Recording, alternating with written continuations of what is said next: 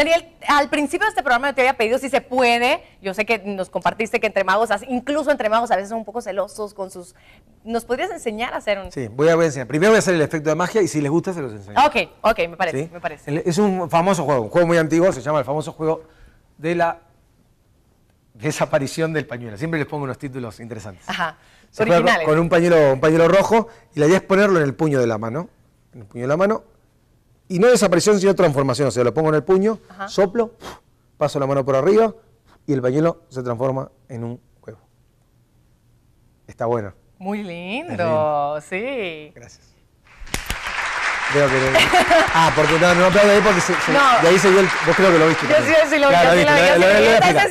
La voy a sí. explicar, está bien, está bien, está bien. Sí, por se ve. Tiene, tiene Se ve, sí, desde aquí se ve, Tiene problema de ángulos. Le voy a explicar a ustedes en, en su caso con qué cámara estoy. ¿Con, con, con, con- con esta Con acá? esta, con esta, a ver. Perfecto, mira. Se utiliza. A ver, vamos, o- vamos a acercarla más, por favor. Ahí, Ahí, está. ahí. Se utiliza un huevo de mentira con- con- y el pañuelo está adentro. Pero voy a explicar la presentación porque no es tan fácil, como les decía, tiene un estudio, o sea, capaz que ahí viene el secreto y dicen, no. Pero no, no, tiene un estudio. Primero se utiliza un pañuelo. Normal. La idea es que sea normal, sí, un pañuelo que llame la atención y un huevo de mentira. ¿Saben dónde consiguen un huevo de mentira? No. Compran una gallina de mentira, esperan a que pongan un huevo. ok, ok. Eh, por suerte me dediqué a la magia y no al humor, porque si no, no Bueno, yo me moriría vi de el hambre. programa entero, a ver, Gracias, yo pero vos por, por público, apoyo, vos por, soy vos por apoyo. El huevo y el pañuelo tienen que ir en, bolsillos opuestos. Eso es fundamental para el- la técnica. Van en bolsillos opuestos y ahora eh, viene la presentación. O sea, ahí te no- es perfecto. Sí, ahí empezamos de cero. Es- empezamos a hacer. Se ¡Eh! dice, vamos a hacer el juego de la desaparición del pañuelo. Muy no bien. transformación para no avivar, sino primero desaparición. Se muestran las manos vacías y se meten las dos manos a la vez.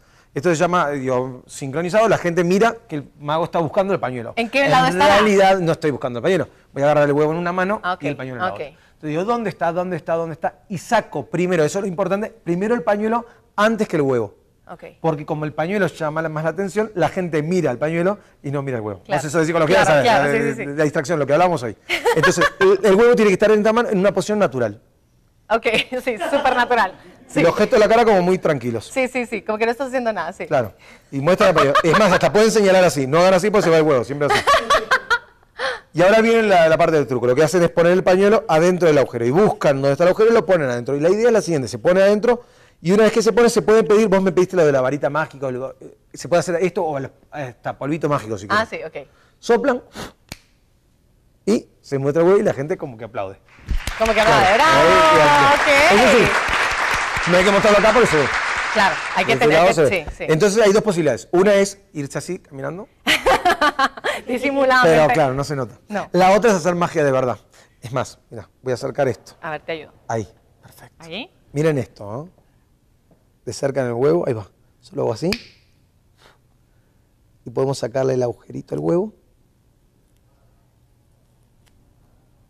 Y podemos hacer que el huevo No. No. se en.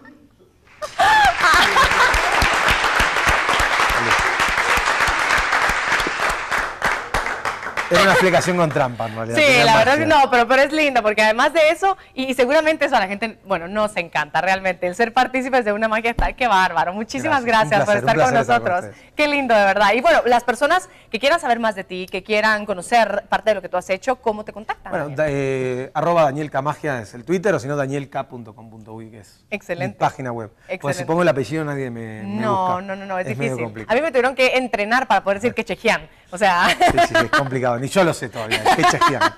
Bueno, muchas gracias por estar en Guatemala, por placer. querer tanto este país. Te queremos de vuelta, de verdad. Y siempre, cuando vengas, por favor, cuenta con nosotros. Aquí en Gracias por la invitación, agradecerle a Luis Carías también Por por, por- traerme, que la verdad que es un, un magazo de acá y tener la, la- la amistad de él es, es valiosísima. Y gracias, Tuti, en serio. Gracias No, a todos. Un placer, un placer. Y bueno, así, con magia, concluimos aquí un show con Tuti. Ojalá lo haya disfrutado mucho y será hasta la próxima. Gracias, Daniel.